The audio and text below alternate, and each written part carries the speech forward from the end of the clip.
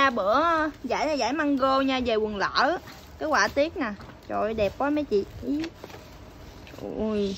ở trên hình á chụp hơi xa thành ra nhìn nó không có gõ cái quả tiết giờ em quay à, cận cảnh cho mấy chị coi nè nó gõ cái quả tiết nè.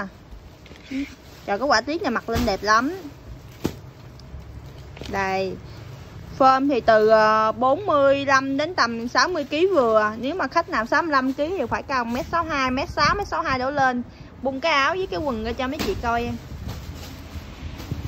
Tay là tay dơi Kiểu tay dơi cổ pyjama truyền thống.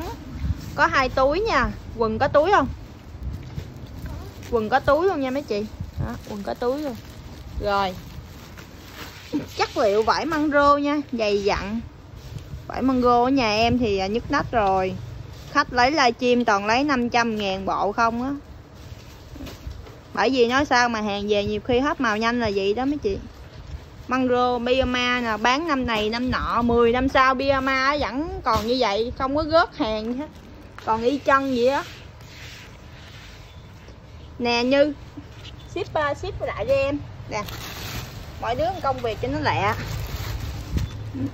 Đây, Trải ra cho mấy chị coi, quần là quần lỡ nha. Cổ cổ Biama truyền thống, tay cách điệu, tay dơi. Có hai túi nha.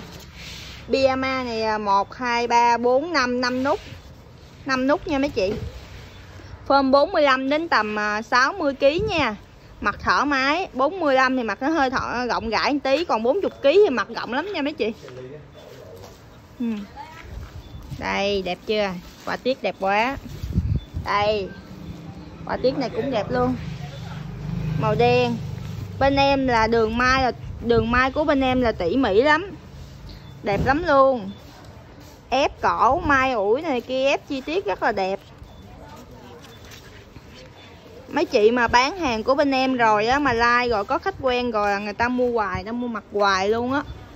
Tại vì ở Bioma này của bên em không có đụng cái thị trường like nhiều, có thể thị trường like nó rẻ livestream người ta có thể bán rẻ hơn, mấy cái mặt kia nó rẻ hơn 10 ngàn 20 ngàn nhưng mà cái đường may nó xấu lắm. Bán xong rồi khách nó mặc không được bao lâu, cái nó mang vốn còn cái này là phôm dáng đầu đẹp nè, đường may, đường nút nè, mấy chị thấy không? Mai kỹ lắm cái đường nút này nè, nó không có bị hở, canh nó rất là đều. Có nhiều khi mà chỉ cần canh chịch một tí thôi, cái đường nút nó bị hở là cái bộ đồ nó mất cái giá trị liền. Quan trọng lắm. Đây, cái đường may của cái viền quần đây. Giải màu trắng nhưng mà không hề mỏng. Em đưa cái bàn tay em vô để cho mấy chị coi đây. Có thấy bàn tay em không? Không thấy bàn tay em là giải nó không có mỏng á. Cái này em dò giống như bình thường mình đi giặt đồ vậy á em dò vậy nè. Đó, bung ra nó không có bị nhăn nha. Là giặt xong mà nó không có nhăn, không có bị rút phôm gì hết trơn á. Mấy chị mặc đồ bên em thì yên tâm đi. Giá thì có thể nhỉnh hơn những nơi khác một tí, nhưng mà tiền nào của nấy đó. Hết kiểu này phải không em?